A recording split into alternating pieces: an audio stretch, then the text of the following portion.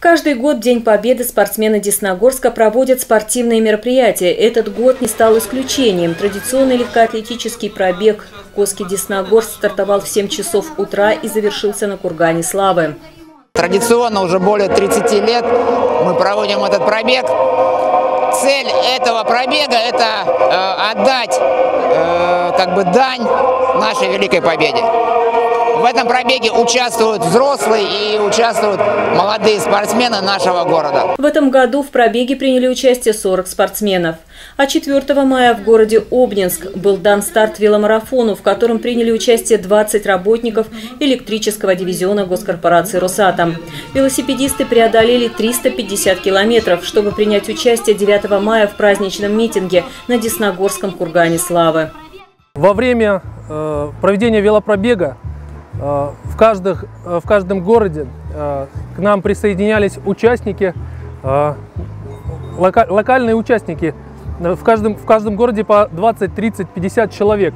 Город Киров порадовал нас, и мы присоединились к их большому велопробегу, к 150 участникам. В общем и целом, в велопробеге участников, работников госкорпорации Росэнергоатом приняло участие порядка 300 человек.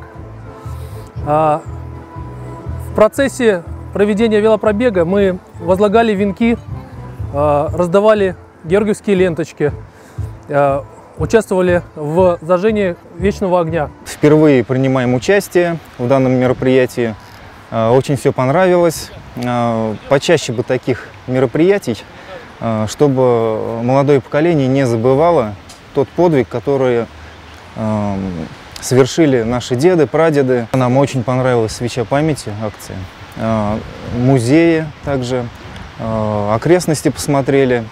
Ну, вообще вот реальные, где вот ну, проезжали, где вот боевые действия как раз проходили. Саратовская область, она вообще богата, скажем. Да, да. У нас в Саратовской области такого нет. Поэтому мы впервые видим, и так очень интересно, очень все понравилось. Организаторы мероприятия надеются, что это спортивное мероприятие станет доброй традицией и расширит свои границы.